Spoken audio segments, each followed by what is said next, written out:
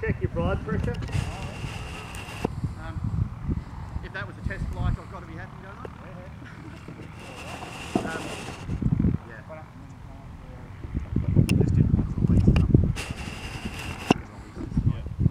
yeah. um, even when there was not much tension on it, it felt like it wanted to catch.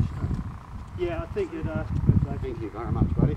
I think it released, but then it took the tension off it. So check your We'll go and really yank yeah. on it and see what's going yep. on. Hell yes.